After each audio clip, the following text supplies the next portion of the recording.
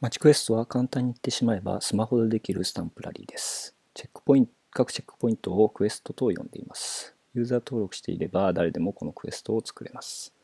ではログインしてみます。Twitter あるいは Facebook でログインできます。Twitter でログインします。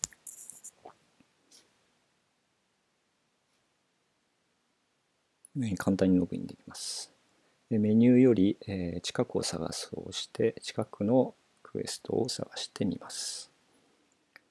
三鷹の周りを探してみますとこのようにユーザーの人が作ったクエストが表示されています。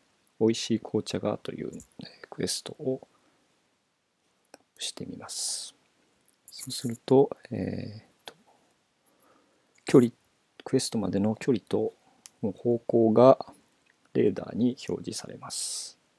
ヒントの写真があり、問題があって、え問題はこのクエストに近づいて 100m 以内、この赤い部分ですけれども、100m 以内に入らないと全部表示されないようになっています。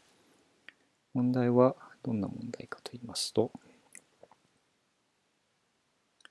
例えば三鷹にある太宰治が歩いた歩道橋があるんですけれども、えー、こう行けば分かるような問題ですね。そこに案内板があって行けば分かる問題が、えー、作成されています。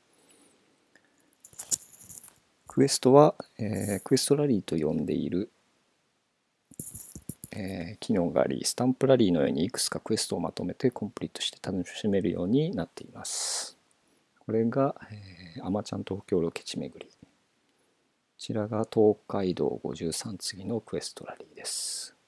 クエストを発見すると、ポイントが10ポイント貯まるようになってて、こちらがランキングで、えー、楽しめるようになっています。よく間違われるんですが、マチクエストまだアプリで出してません。マチクエストで検索してみてください。